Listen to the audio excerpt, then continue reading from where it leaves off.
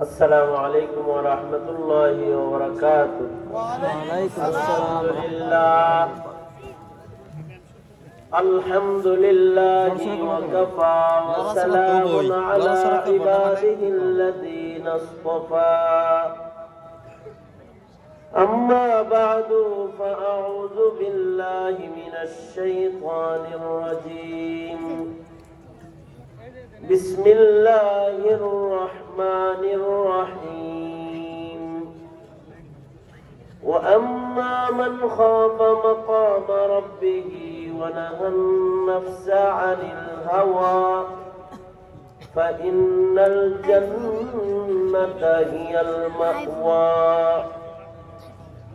وقال النبي صلى الله عليه وسلم كما تعيشون تموتون وكما تموتون تبعثون أو كما قال عليه الصلاة والسلام اللهم صل على محمد وعلى آل محمد كما صليت على إبراهيم وعلى آل إبراهيم إنك حميد مجيد.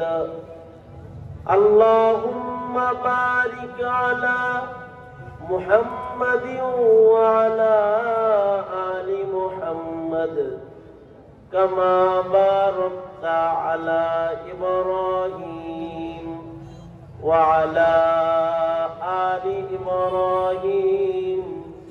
إنك حميد مجيد. بلغ العلا بكماله كشف الدجى بجماله حسنت جميع خصاله صلوا عليه وآله আসাদুজ্জামান খান দারুল উলুম মাদ্রাসার উদ্যোগে আয়োজিত মহতি দুই দিন ব্যাপী চৌত্রিশতম বার্ষিক মাহফিলের আখরি দিনের মোহতারাম সভাপতি উপস্থিত হাজরাত বুজুর্গ ওলামায় কেরাম, সম্মুখপানে সমবেত দিন প্রিয় ইসলাম, প্রিয় দিনদার, ইমানদার, মমিন, মুসলমান ভাইরা বুড়া বাবারা, যুবক ভাইরা পর্দার আড়ালের মা বোনেরা, বিশ্ব জগতের মালিক, বিশ্ব প্রতিপালকের বিশ্ব দরবারে কালিমাত শকর, যে মহান রব্বুল আলমিন অত্যন্ত দয়া করে, মায়া করে ভালোবেসে রহমতি, বরকতি, জান্নাতের টুকরা বাগানে উম্মদের আলেমদের সহমতে একটি বিশাল জামাতের পাগড়ি প্রদানের মাহফিলে আল্লাহ তাআলা আমাদের আশা বসার তৌফিক দান করেছেন। এজন্য কালিমাতুর শকর পড়ি শুক্রিয়া আদায় করি। জবান খুলে, ভক্তি ভরে, সমস্বরে আওয়াজ করে, উচ্চ কণ্ঠে উচ্চ আওয়াজে এক যোগে একসাথে সকলে বলুন আলহামদুলিল্লাহ আলহামদুলিল্লাহ। গতকালকে থেকে শুরু করে আজকে পর্যন্ত ওলামা হজরতগণ বহুত গুরুত্বপূর্ণ নসিহা আপনাদেরকে উপহার দিয়েছেন। আমি বরকতের নিয়তে আপনাদের সামনে আয়াত এবং হাদিস পেশ করেছি। এগুলোকে সামনে করে খুব সংক্ষেপে কিছু কথা আপনাদের কানে পৌঁছাইবার এরাদা রাখি। আল্লাহ তাআলা কিছু উপকারী কথা আপনাদের কানে পৌঁছে দেওয়ার তৌফিক দান করুন। আপনারা দোয়া করুন। বলুন আমি দুটো হাত উপরে তোলেন তো। সোজা করেন সোজা করেন। হ্যাঁ রাত বারোটা বেজে গেছে তো প্রায় কটা বাজে? সাড়ে এগারোটা। সোজা করেন। আমি বলেন নারা চালা দেন দেখি। এবার জবান খুলে বলেন সুবহানাল্লাহ। সুবহানাল্লাহ। আরও জোরে আওয়াজ করে বলেন সুবহানাল্লাহ। সুবহানাল্লাহ।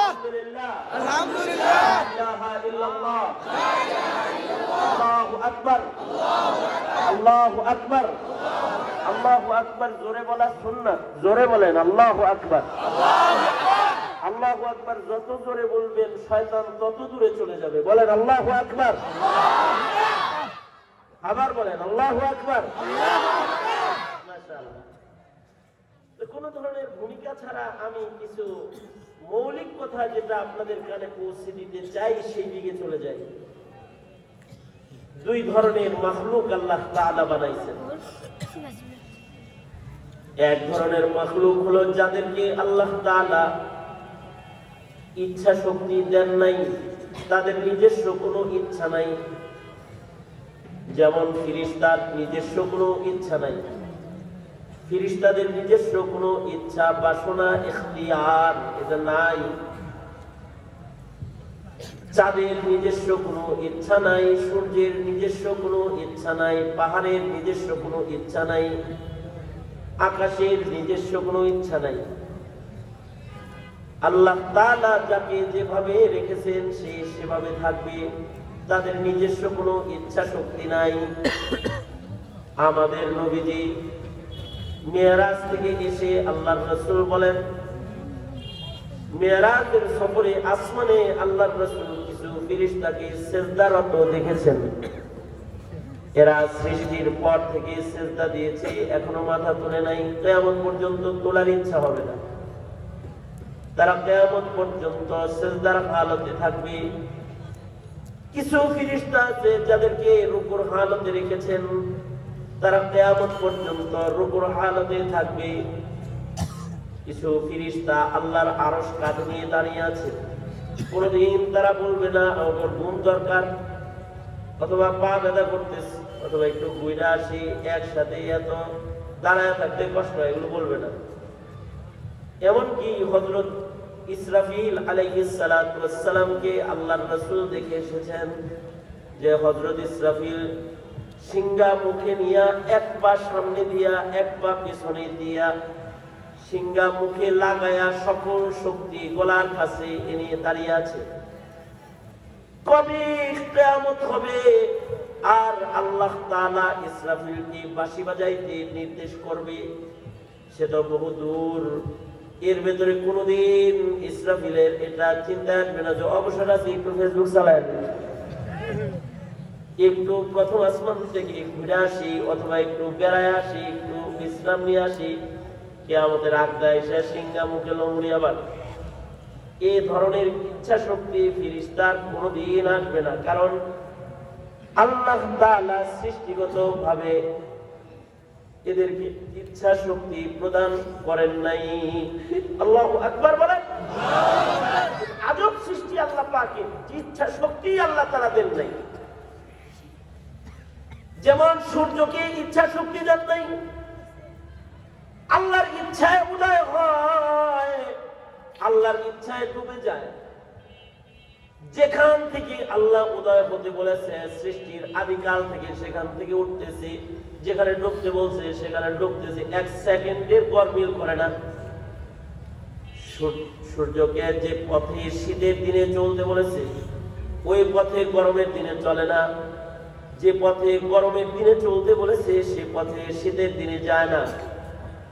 আল্লাহ নির্বাচিত, নির্ধারিত কক্ষ পথ তারা কখনো অতিক্রম করে না। কারণ এই অতিক্রম করার জন্য যে ইচ্ছাটা দরকার, সেই ইচ্ছা শক্তি আল্লাহ তালা ওদের দেন।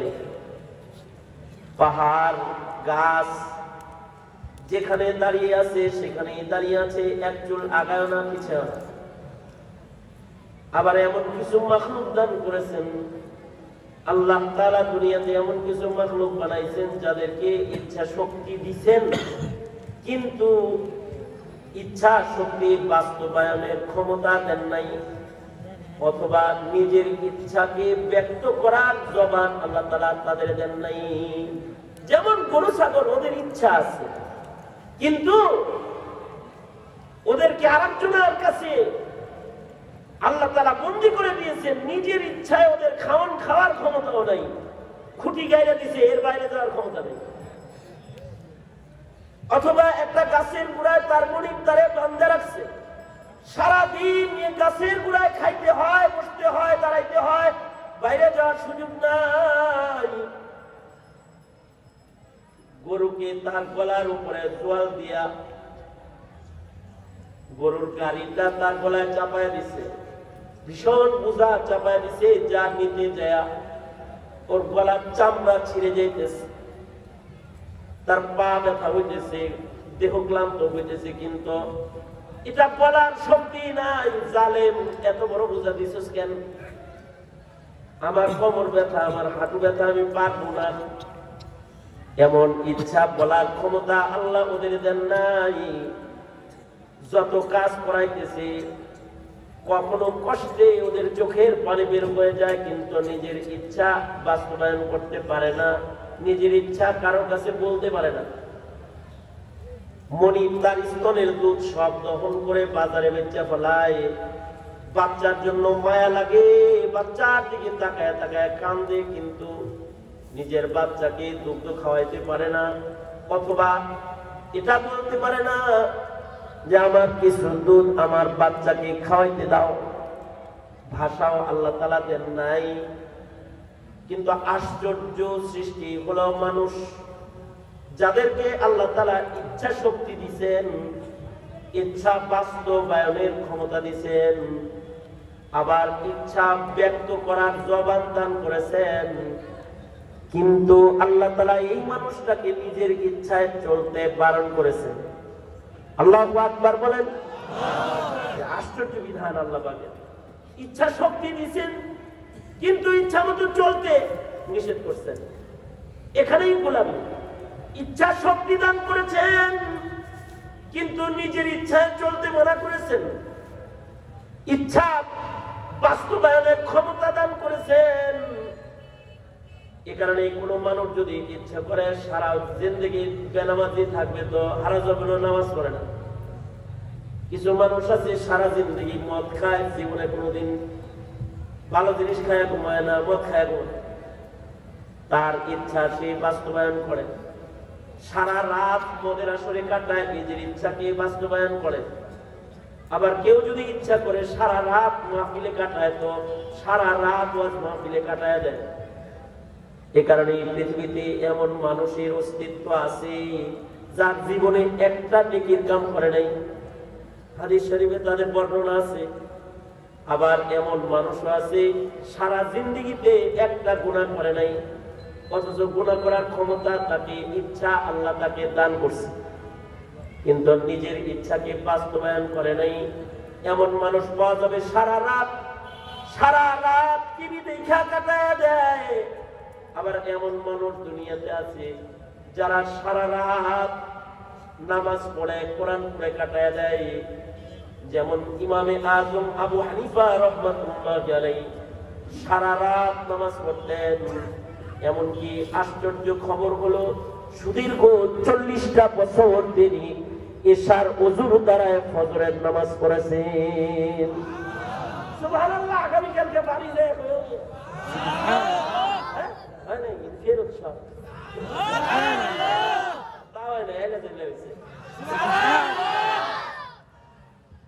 সকলে মিলে সমস্যারে আওয়াজ করে একসাথে বলেন, সুবহানাল্লাহ।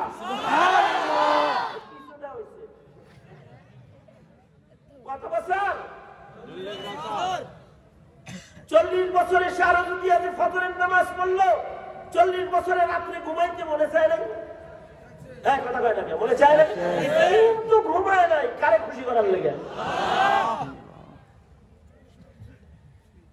চল্লিশটা বছর পর্যন্ত সারু দিয়ে ফজরের নামাজ পড়েছেন। কখনো কখনো এক রাত্রি গোটা কোরআন খতম করছেন, এক রাখাত দুই রাখাত নামাজ এই দুনিয়াতে কিছু মানুষ আছে যারা দুই রাগাত নামাজে কোরআন শরীফ খতমকারী। দুই রাগাত নামাজ। অথবা এক রাগাত নামাজে কোরআন খতমকারী। দুই রাকাত নামাজে যারা কোরআন শরীফ খতম করেছেন, তারা হলেন সাহাবীদের ভিতরে হযরত উসমান ইবনে আফফান। নবীর জামাতা হযরত উসমান ইবনে আফফান দুই রাকাত নামাজে এক রাকাত নামাজে টোটাল কোরআন শরীফ খতম করছেন আল্লাহু আকবার বলেন। সাহাবীদের ভেতরে হযরত উবাই ইবনে কাব রাদিয়াল্লাহু আনহু দুই রাকাত নামাজে এক খতম কোরআন শরীফ পড়েছেন। হযরত দারি রাদিয়াল্লাহু আনহু এক রাকাত নামাজে টোটাল কোরআন শরীফ খতম করছেন এক রাকাত নামাজে। আর আমার যুবকেরা সারা রাত সিনেমা আপনারা ভালো আপনারা গুড ভেরি গুড সারা ফেসবুক খতম করছে অথবা সারা রাত ইউটিউবের নাটক সিনেমা দেখছে জেনারেল চাপ দেখেছি সারা যাত্রার প্যান্ডেলে বৈশাখ কাটায় এখানে তো মাহফিল হয়েছে কিন্তু শীতের দিনে আবার যাত্রা মাত্রাও হয় সারা রাত যারা গান বাদ্যের আওয়াজের ভেতরে কাটায় আছে না নাই? বহাপুরে নাই? বহাপুরে গান গান হয় না এরা সব বুজুর্গ। আব্দুল কাদের জিলানির বংশধর। কি গান হয়? এই গানের ভেতরে সারা রাত কি অনেকে কাটায়? সারা রাত গান শুনে কাটায়। আরে এমন মানুষ আছে এত বড় সম্মেলন। পাশে বাদাম গেছে একটা কথাও শুনে না একটা ওয়াজও শুনে না একটু আসতে তার মনেও চায় না। যে আজকের জন্য নয়, টাকা কামাই নাই করলাম একটু নেকি কামাই করি। এটা তার দিলে আসতেছে না। এই ইচ্ছা শক্তি, তার জাগ্রত হইতেছে না। এমন মানুষ আছে যারা সারা রাত গুণা করে, আবার এমন মানুষ আছে যারা সারা রাত ইবাদত করে। এই ইটাও বন্ধ করে দে। এই এই, মাইকেল। মাইকেল। মাইকেল ওই যে বাসায় দিচ্ছে না এটাও বন্ধ করো স্টিল করো আবার। এনে ওয়াজ বুঝবে। সারা রাত সারা রাত তারা পাপের ভেতরে সময় কাটায় দিল। এটা কিসের কারণে? ইচ্ছা শক্তির কারণে। এই ইচ্ছা শক্তি আল্লাহ তাআলা মানুষকে দান করেছেন। এই ইচ্ছা শক্তি দিয়া দিয়া কয় কি? ইচ্ছা মতো চলিস। তোর মনে চাইব টিভি দেখতে কিন্তু দেখবি না। তোর মনে চাইব সিনেমা দেখতে কিন্তু দেখবি না। তোর মনে চাইব শালের লোকে গল্প করতে কিন্তু করবে তোর মনে চাইব বাবির লোকে পিতলা খাতে দিতে দিবি না। তোর মনে চাইব আড্ডা দিতে ক্লাস খেলতে, জোয়া খেলতে না। তোর মনে চাইব হারাম ইনকাম করতে করবি না। করবি না? কার ভয়ে করবি না? করে আওয়াজ করে বলেন কার ভয়ে? ওই কথাটাই আল্লাহ বলে ইচ্ছা শক্তি দমন করবা। দিছি ইচ্ছা শক্তি এটাকে বাস্তবায়ন করার লেগে না? দিছি হলো তুমি কি আমার বান্দা কিনা এটা দেখবার লেগে? তুমি কারে মানো নিজে নফসরে মানো না আমারে মানো? তুমি কার নির্দেশে চলো? নফসের এরাদায় চলো নাকি আমি আল্লাহর নির্দেশে চলো এটা দেখবার লাগছে? যে আল্লাহ তালা বলেন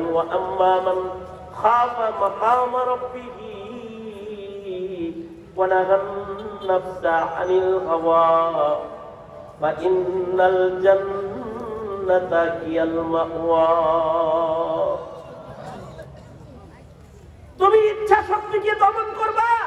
কি দিয়া দমন করবা? মান মানুষের ইচ্ছা দমন অস্ত্র দিয়া করা যায় না। অস্ত্র দিয়ে যদি ইচ্ছা শক্তি দমন করা যাইতো তাহলে অস্ত্র দেখে সব চোর ডাকাত ভালো হয়ে যেত।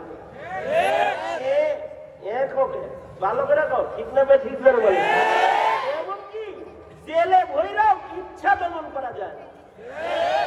আমার সাথে জেলখানায় দেখা উনি জেলে ঢুকছে অষ্টমবারে আমার লগে বরকতি বার?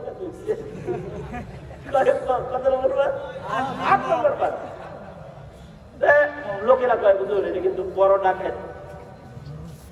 কয় এটা অষ্টম বাড়াইছে গাঞ্জা করতে দেখা হয়েছে কিন্তু গাঞ্জা খায় খায় রাস্তায় ফিট হয়ে থাকে ষোলো বার গেছে এরকম হয়েছে কি অপরাধে গেছে গাঞ্জা খাওয়ার অপরাধে আর অষ্টমবার যে গেছে এটা হলো ডাকাতি করার অপরাধে গেছে সেদিন আমার কাছে আইছে আমি এরে বললাম, ভাই, আপনি কোন জরুমের আসামি?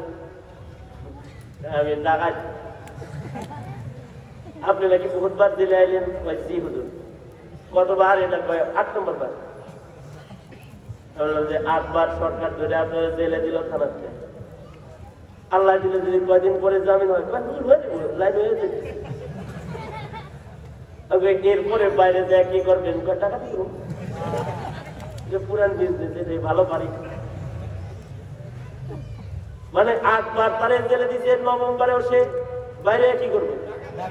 দাবি করবে? তার ইচ্ছা এখনও পরিবর্তন করেনি। নারায়ণগঞ্জের এক কিলারের সাথে আমার দেখা হয়েছে। তো ও তো দীর্ঘদিন জগৎ জেলখানায় আছে, তো তারে বললাম যে, আপনি তো মাসাল্লাহ বলি বুজুর্গ হয়ে গেছেন গা। মানে এইরকম দাঁড়িয়ে রাখছে, তাহাজুদের নামাজ পড়ে। সপ্তাহে পাঁচ দিন, ছয় দিন রোজা রাখে, নফল রোজা রাখে। শক্তিশালী মানুষ। যে, পনেরো যদি সরকারটা পাঠায় বাইরে হইতে পারি কি করবেন বাইরে? অস্ত্র এমন জায়গায় পড়তে হয়েছে আমি সারা দুনিয়ার আর কেউ জানি না। খালি যায়া আল্লাহ নাম লইয়া তুল মার খালি। তারপরে বারো বছর জেলখানায়, তেরো বছর জেলখানায় থাকার পরে ওর ইচ্ছা শক্তির পরিবর্তন এখনও পর্যন্ত হয় নাই। শিক্ষার দ্বারা ইচ্ছা শক্তির পরিবর্তন হয় না। বহু শিক্ষিত আছে যারা ডাকেন বহু শিক্ষিত আছে যারা, চোর চোর চোর চোর বহু শিক্ষিত আছে, এরা জেনাকার বহু শিক্ষিত আছে, কুকর্ম সম্পাদনকারী। তাদের ইচ্ছা শিক্ষার দ্বারা পরিবর্তন হয় নাই। ইচ্ছা শক্তি দমন করার একমাত্র শক্তিশালী মহৌষধ হলো আল্লাহর ভয়। কার ভয়? জোরে আওয়াজ করে বলেন। আরও জোরে আওয়াজ করে বলেন। কার ভয়? কার ভয়? আল্লাহর ভয় যদি কারোর হৃদয়ের ভেতরে এসে যায়, তখন তার ইচ্ছা শক্তি থাকে না। তখন আল্লাহর ভয়ে নিজের ইচ্ছাকে জলাঞ্জলি দেয়। আল্লাহর ভয়ে নিজের ইচ্ছাকে কোরবানি দেয়। আল্লাহর ভয়ে নিজের চাহিদাকে মিটা ফেলায়। আল্লাহর সন্তুষ্টিকে অর্জন করার জন্য কোরবান হয়ে যায়। যখন কারোর ভেতরে রয় আল্লাহর ভয়। এই কারণেই সাহাবায়াম ছোট্ট খাটো কোনো অপরাধ করতে পারে নাই। সিসি ক্যামেরায় ধরা করব এই জন্য অপরাধ করে নাই, তা না। এক্স রে করে দেখতে ফেলাইব এর লেগে না অথবা কোনো কোয়ালিটিতে মানে এখন কিন্তু দেহের ভেতরেও মেশিন লাগায় মানে মেশিনের ভেতর দিয়ে দেহ দিয়ে দেয়, পেটের ভিতরেও যদি গাঁজা মাজা থাকে, বাইরে ইয়াবা ইয়াবা, বাবা, ইয়াবা। এটা জেলখানার ভিতরে ইয়াবা ঢুকায়। আমি বললাম, জেলখানায় ইয়াবা কেমনে ঢুকে? চেক করে না ঢুকে হুজুর পলিথিন দিয়ে পেঁচে পাশা দিয়ে দিয়ে তারপরে ঢুকে যদি কোনো রকমের যদি খালি কারেন্ট না থাকে, আর যদি স্ক্যানার মেশিন যদি কাম না করে, তাহলে বাবা ঢুকে যায়। আর যদি স্ক্যানারে কাম করে, তাহলে বাবা ধরা খাওয়া যায়। ধরা খাইলে কি হয়? বাড়ি খায় কয় বাড়ি খেলে ওরা তো টান টুন মারে তো, বাড়ি উড়িও কিছু হয় হয় না। তার মানে হলো স্ক্যানার মেশিন দিয়া বাবার রপ্তানি আমদানি। এটা এক জায়গা থেকে আর এক জায়গায় পাঠানো, বন্ধ করা সম্ভব হয় না কিন্তু যদি তাকওয়াল্লাহ হয়, তাহলে যাররা অপরাধ করবে না।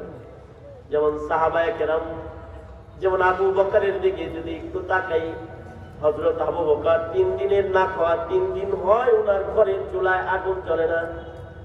খলিফাতুল মুসলিমিন হজরত আবু বকর, তিন দিনের না খাওয়া মানুষ ওনার কাছে হঠাৎ করে রুটি গোস্ত ওনার গোলামের মাধ্যমে হাদিয়ে আসছে, রুটি গোস্ত একদিন না খায়া থাকলে তো ঘটি বাটি সুদ্ধা খায়া ফেলাইতে বলেছে। রোজা থাকার পরে ইফতারের সময় কীরকম লাগে?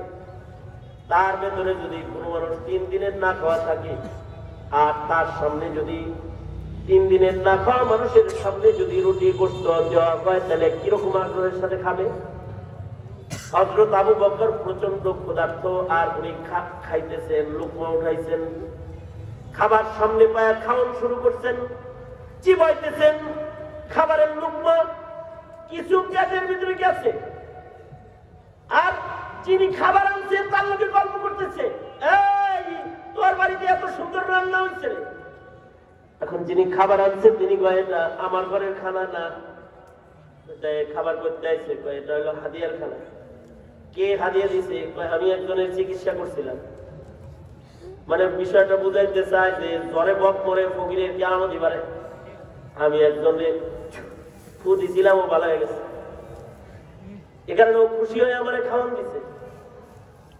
বুদিলে মাঝে মধ্যে জ্বরে বক মরে ফকিরের কারামতি কিন্তু পারে এ আমি সিরাজগঞ্জ যাইছি জি জি এনার তো মাহফিলে একজন এক হুজুর, পানিতে ফুটে কি লেগে ফুটে মুখ? কয়, আমার বাগনির বাচ্চা।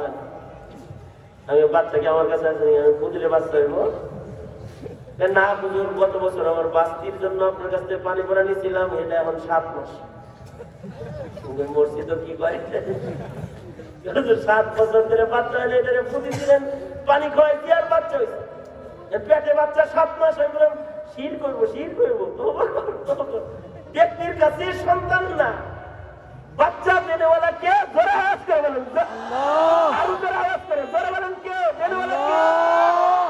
এ কয়, হুজুর আপনি যে পানি ভরা দিয়েছিলেন এই- এই- এই- এই- ওই বাচ্চা হয়েছে। আবার আবার আবার আমি জায়গা আমি জানি না। এই যে- এই যে আমি পারি জানি না। তাই এর আগে কি কি কয়ে দিচ্ছেন আমি বললাম যে আমি অধিকাংশ সময় ফুফা দিলে এটা করে দিই। মাইক জানতা নেই তেরে বান্দা মানতা নেই ছুট আল্লাহ, আমি কিছু জানি না, তোর বান্দায় মারা না দেখে দিলাম, বিসমিল্লাহ ঠিক আছে, ওদের এটা কয়ে দেন তার মানে হলো জ্বরে বক করছে ফকিরের কারামতি বাড়ছে। জ্বরে একটা বক করছে, এখন ও আমারে এটার চিকিৎসক বানায় লাইছে। গোলাম বলে কি, আবু বকর? জ্বরে বক করেছে, ফকিরের কারামতি বাড়ছে।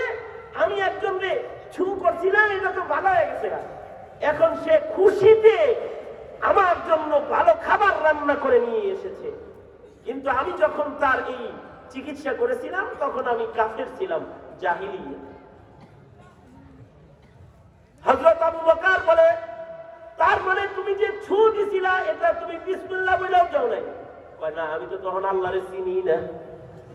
আমি কি মুসলমান নাকি? যে বিসমিল্লাহ কয়ে দিব কি বলে দিছিলা? কয় উজ্জার নামে দিছিলাম ফু। হজরত আবু বকার বলে তাহলে লাত উজ্জার নামের খানা বুঝি তুমি আমারে খাওয়াই দাও। সারাপ সাথে সাথে খাবারকে সরায় ফেললেন হজরত আবু বকার। যে দুই লুকমা খাইছেন, এইটাকে বাইর করার জন্য পাগল হয়ে গেলেন। কারণ আবু বকারের ভয় লাতুজার নামের খানা পেটে লইয়া যদি মরণ হয় আর অথবা যদি লাতুজার নামের খানা আমার পেটে হজম হয়, আর এই খাবারের কোনো উপকার যদি আমার দেহে দুইটা যায়, তাহলে হাদিসের ভাষ্য মতে হারাম খানা দিয়ে যে দেহ গঠন হয়, ও দেহ দোজকে যাবে।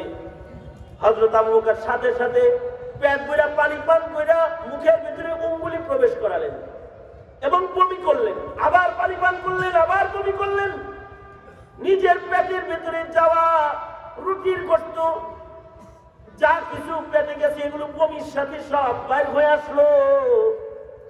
আবু বকর তখন শুকর করে বললেন এক পেটে যায় নাই। এই যে আবু তিন দিনের ক্ষুধার যন্ত্রণা পেটে নিয়েও কাজ করতে তিনি সক্ষম হয়েছেন, এটা অস্ত্রের ভয় না।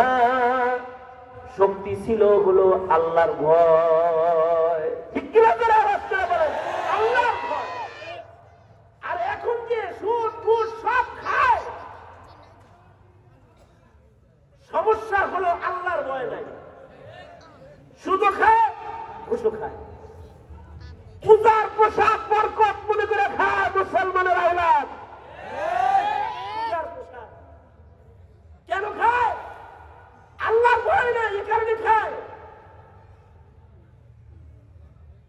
হজরত উমরের কথা। ইমাম মালিকে আছে হজরত উমরের কথা হজরত উমর দুধ পান করেছেন, দুধ। দুধ পান করার পরে হজরত উমর যিনি দুধ দিছে, তারা বলতেছে, বাহ, তোমার গাভীর দুধ তো চমৎকার। এই লোক বলে, হুজুর, আমি গরিব মানুষ আমি গাভী বং কই? কয়, তাহলে কিসের দুধ আনছো? তোমার বাড়ির দুধ খাওয়াইতেছো না? না না না। কিসের দুধ? সরকারি বাইতুল মালের উটের দুধ সরকার হিসাবে মহল্লার গরিবদেরকে দেওয়া হয়। আজকে সিরিয়ালে সরকার দুধ আমি পাইছি। ভাবলাম খলিফারে লইয়া খাই, তাই আপনার এক গ্লাস দিছি। হজরত উমর কয় ইন্নালিল্লাহ উনি কয় ইন্নালিল্লাহ কন কে? আমার জন্য সদকা আপনার জন্য হাদিয়া। আপনার জন্য তো হাদিয়া। আমি হাদিয়া দিছি, আপনি হাদিয়া আপনি সবটা খাইতেছেন নাকি? হজরত উমর বলে, তুমি বুঝো নাই, সদকা দাও নাই, কিন্তু এই সদকাটা এমন সদকা যেই সদকাটা আমার ঘর থেকে গেছে। অর্থাৎ আমি খলিফাতুল মুসলিমিন, আর আমার বাইতুল মাল থেকে তোমার বাড়ির সদকা গেছে, সেই সদকা আমার পেটে গেছে।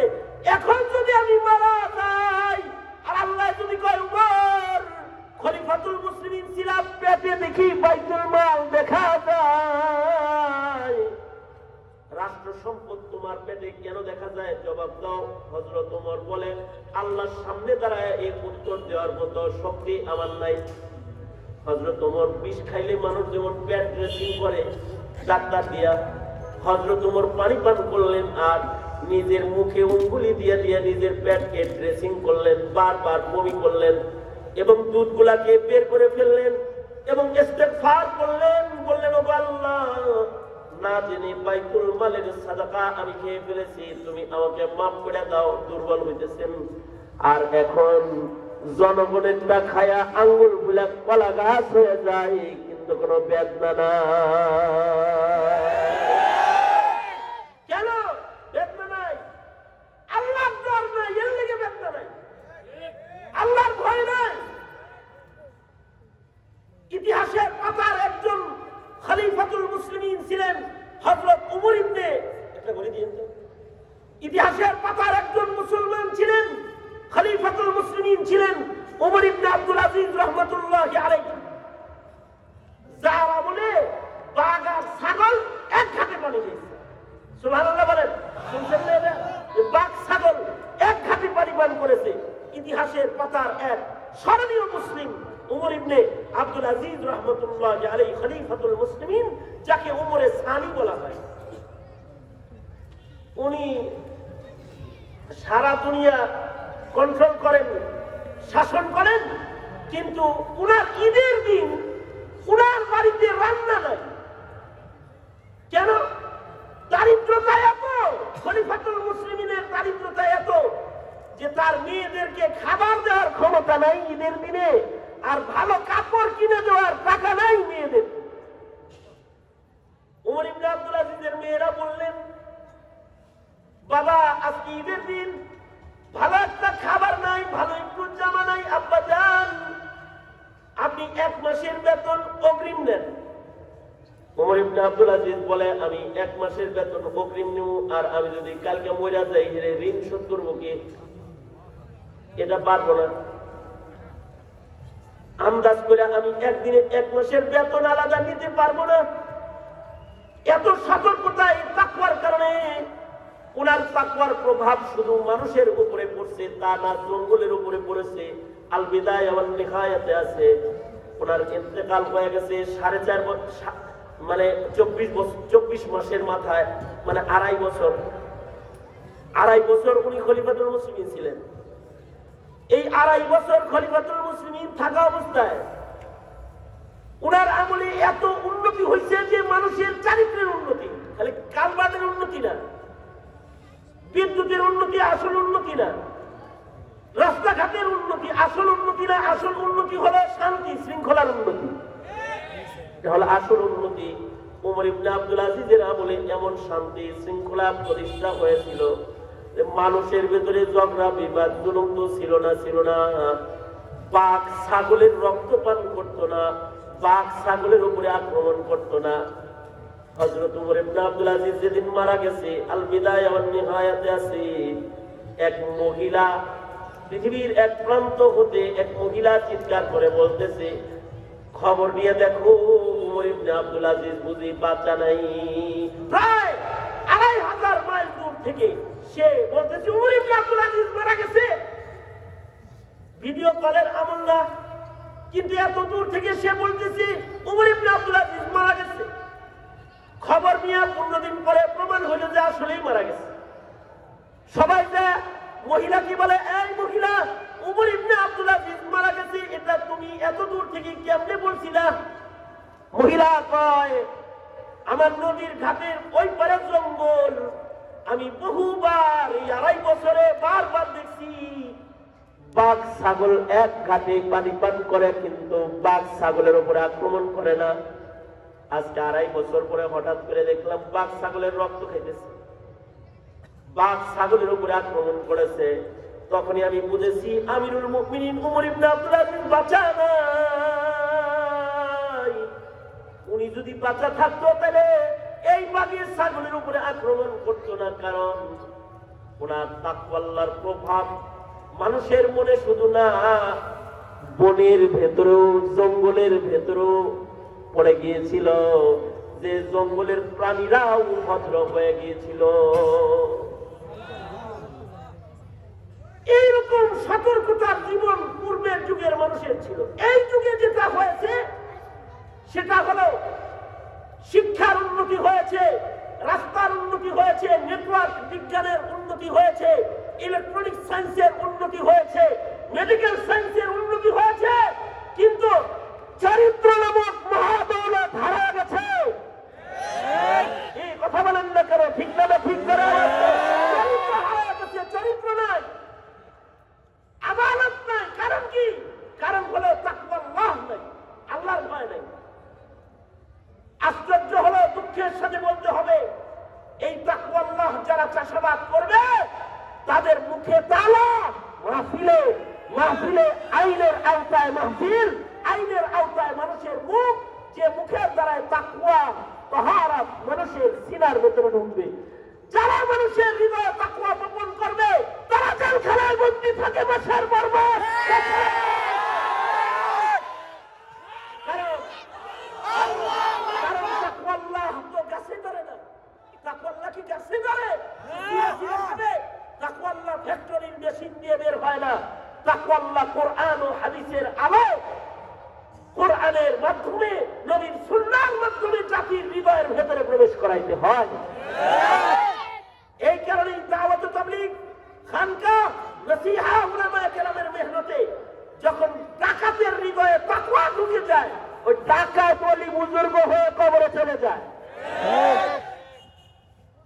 বেনামাজির হৃদয়ে যখন তাকওয়া ঢুকে যায় তখন সে মুত্তাকি পরহেজগার হয়ে যায় সবচেয়ে বড় কথা সেদিন আমাদের এক মুরব্বী বলতেছিলেন আমাদের দোয়া কবুল না হওয়ার বড় কারণ হাদিস কোরআনের আলোকে যেটা বোঝা যায় সেটা হলো আমাদের পাপাচা আমাদের গুণা খাতার কারণে আমাদের দোয়া কবুল হয় না। আমাদের জাহিরি গুণা বাতিনি গুণা গোপনের গুণা প্রকাশের গুণার ঝড় তুফান এখন চলছে। এ কারণে আমরা দোয়া করি, কিন্তু আমাদের দোয়া কি হয় না, কবুল হয় না। দেড় শত কোটি মুসলমান মিলা আজকে ফিলিস্তিনের জন্য আমরা দোয়া করতেছি। হিসাব মতো ইসরায়েলের চতুর্দিকে যে পরিমাণ মুসলমান আছে, সবাই মিলা থুথু দিলে ইসরায়েল বাইসা দেবো সেই ইসরায়েল আজকে ফিলিস্তিনিদেরকে নারী শিশুর উপরে অত্যাচার করতেছে। কিন্তু আল্লাহর মদত আসতেছে না। হামাস যুদ্ধ করতেছে, মুজাহিদরা শহীদ হইতেছে, কিন্তু নুসরাত আসতেছে না। সবচেয়ে বড় কারণ হলো সারা দুনিয়ার মুসলমানদের ভিতরে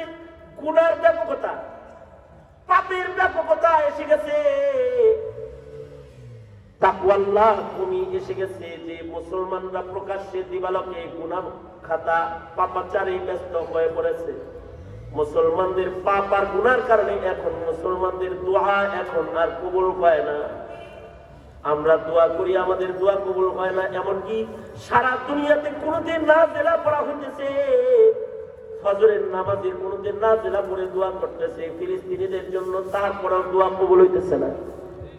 কিন্তু একটা সময় ছিল, মুসলমানরা মুখ দিয়ে যা বাই করত, আল্লাহ তালা ওইটাই কবুল করে নিত। মুসলমানদের আজব দুয়ার দুটি ঘটনা শোনেন। একটা ঘটনা হলো হজরত উমর ওনার শাসন আমলে, ওনার সামনে বাপ বেটা দুইজন আসছে হজরত উমরের সামনে। ঘটনাটি ইমাম তাবারানি আর দোয়া কিতাবের ভেতরে লিখেছেন। আর আল্লামা খারায়াতি মাকারিমুল আখলাক কিতাবের ভেতরে এই ঘটনাটা লিখেছেন যে হজরত উমরের সামনে দুই বাপ বেটা বসে আছে আশ্চর্য বাপ বেটা। বাপ বেটা দেখতে একই রকম। হুবহু ফটোকপি ফটোকপি। হজরত উমর বলে, আজব তোমরা বাপ বেটা, তোমাদের মতো এমন আজব বাপ বেটা আমি আর কখনো দেখি নাই। হজরত উমর বলতেছে, তোমরা আশ্চর্য বাপ বেটা যে তোমাদের মতো বাপ বেটা আমি ইতিপূর্বে আর কখনো দেখি নাই, এত মিল তোমাদের ভিতরে। তো আগন্তক বলে, আমিরুল মুমিনিন, খালি আমাদের জেসমানি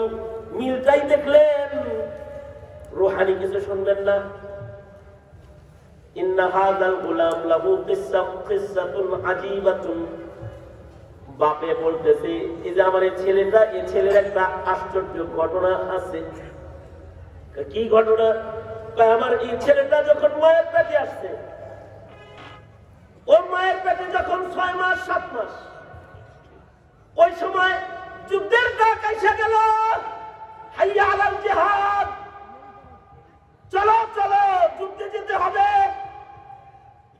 বলে, আমিরুল যুদ্ধের ডাক শোনার পরে আমি সাথে সাথে যুদ্ধে যাওয়ার জন্য প্রস্তুত হয়ে গেলাম। কিন্তু আমার নফস বলতেছি, বউ বাচ্চা রেখে যাবি কে? কিন্তু দিনের জন্য যুদ্ধের আহ্বান এসেছে। ইসলামের জন্য যুদ্ধে যেতে হবে। আমি প্রস্তুত হয়ে গেলাম, যুদ্ধে যাব। ঢাল তরবারি লইয়া যুদ্ধের দিকে রওনা করছি। এই সময় আমার বিবির সামনে দাঁড়ায় বলে, স্বামী, আমার কথা চিন্তা করি না, কিন্তু আমার পেটে যে বাচ্চাটা রেখে যেতেছেন এটার কি হবে, স্বামী? লোকটা বলে, আমিরুল মুকমিনিন আমার বিবি, আমার বাচ্চার কথা বললে আমি আমার বিবির পেটে হাত দিয়ে বললাম, ইন্নি বাতনিক। তোমার পেটে যা আছে এটাকে আমি আমার আল্লাহর কাছে আমানত দিয়ে গেলাম। এই কথা বইলা আমি যুদ্ধে চলে গেছি। লোকটা বলে, আশ্চর্য আমি যুদ্ধের ময়দানে মাসের পর মাস আমি যুদ্ধ করতেছি, হঠাৎ করে খবর পেলাম যে আমার বিবিটা ইন্তেকাল করছে। এবং আমার সন্তান যেটা আমার বিবির পেটে রেখে এসেছি, সন্তান বিবির পেটেই আছে, প্রসব হয়নি।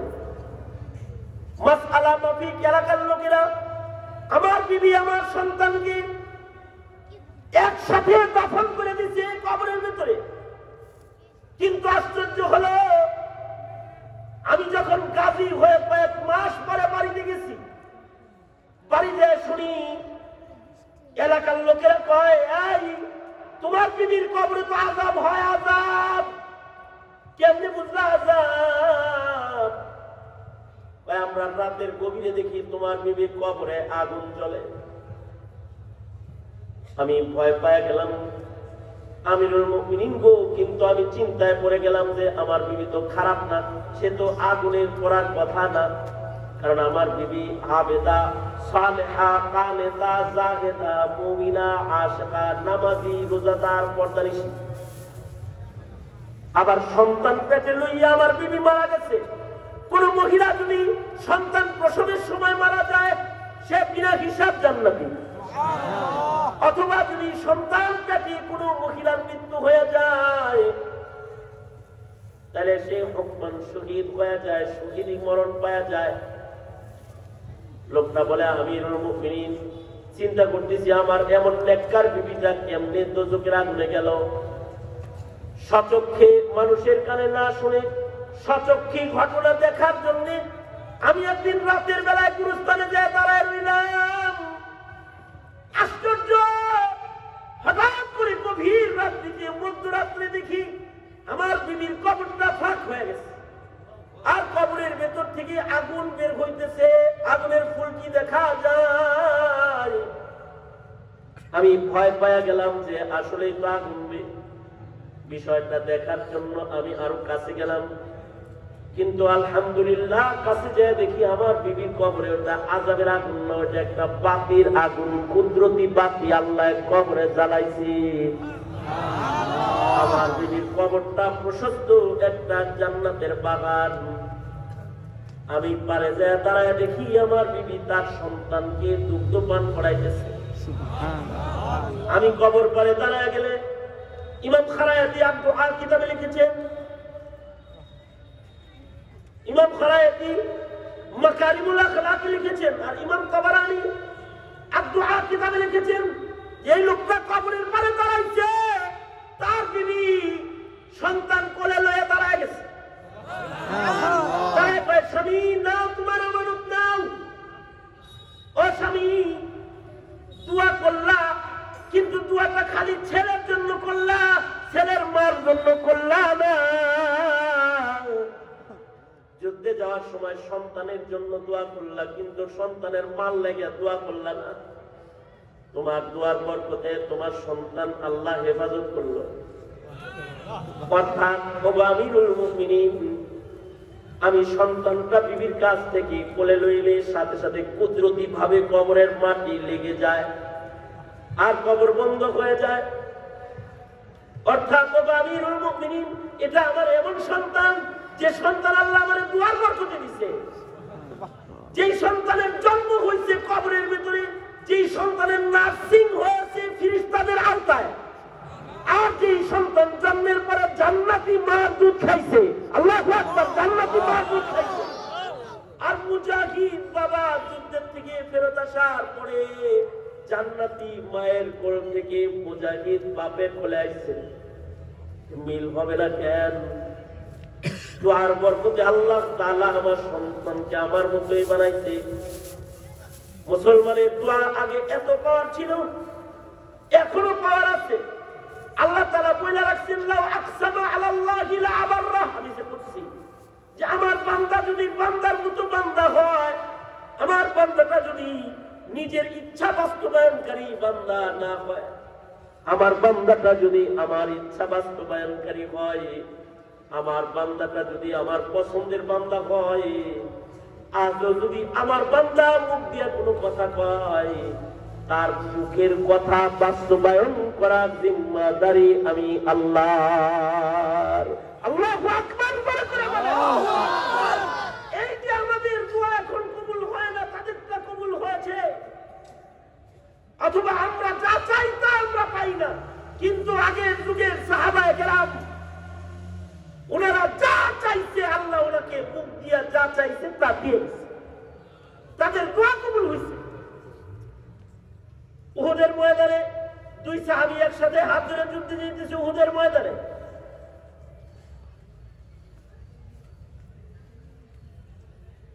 একজনের নাম হলো সাদ ইবনে আবি ওয়াক্কাস রাদিয়াল্লাহু আনহু। উহুদের যুদ্ধে যাইতেছে। আর একজনের নাম হলো হযরত আব্দুল্লাহ ইবনে জাহাশ রাদিয়াল্লাহু আনহু। এই দুইজন যুদ্ধের ময়দানে যাইতেছে। যুদ্ধে যাওয়ার আগে এই দুইজনে উহুদের মাঠে ঢুকার আগে মূর্তি করবার লাগছে। উহুদের ময়দানে ঢোকার আগে বুদ্ধি করে যে উহুদের যুদ্ধে ঢুকবার লাগছে। দুইজনে দুইটা দোয়া করে ঢুকি, কারণ দোয়া কবুল হবে।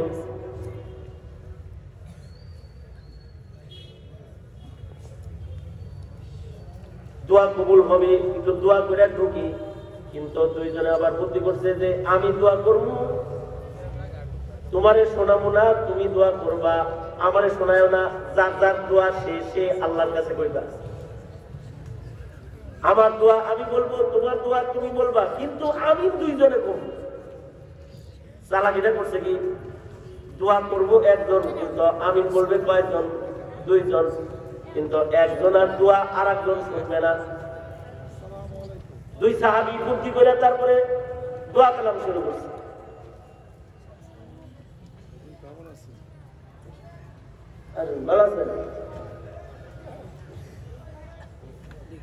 দুই সাহাবি দোয়া করবে, একজনের দোয়া আর একজনের শোনাবে না। এই মনোযোগ দেন, এই কথাটাই আমার শেষ কথা।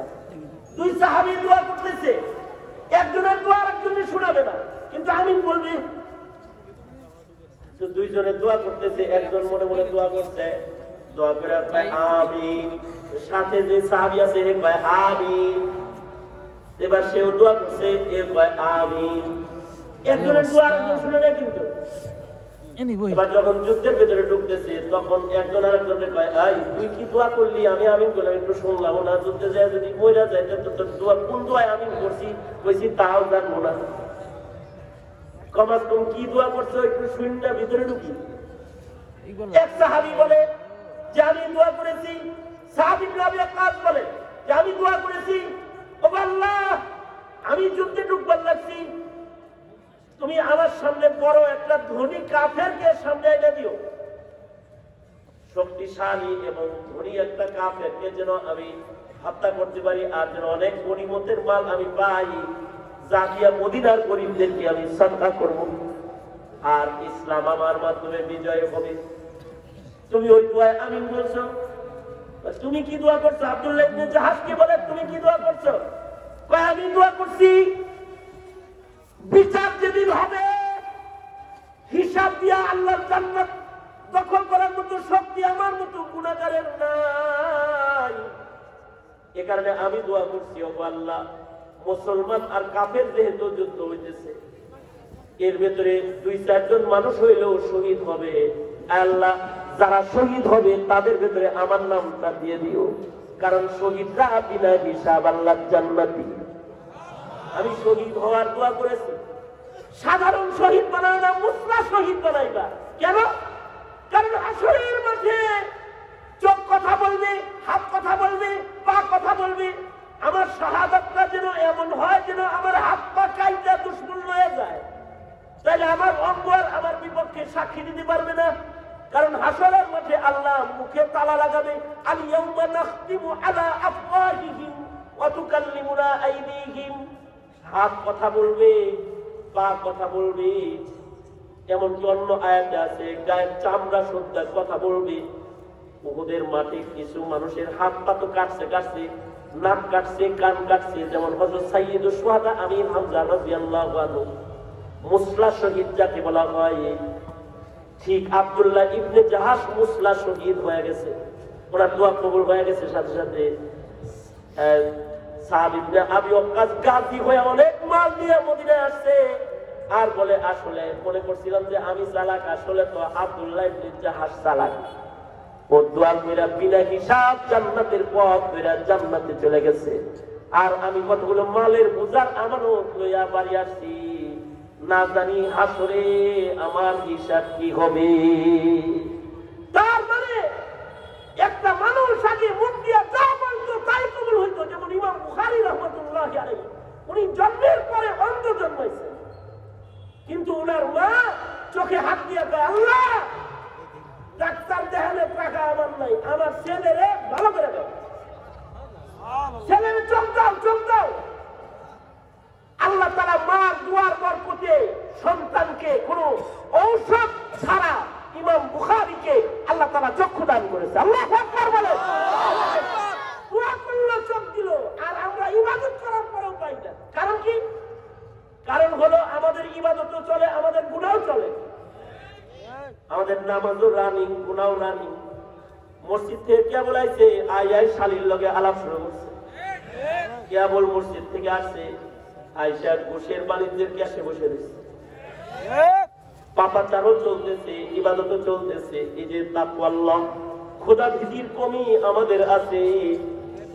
এই খোদা ভীতির কমতির কারণে আমাদের দোয়া এখন আর কবুল হয় না।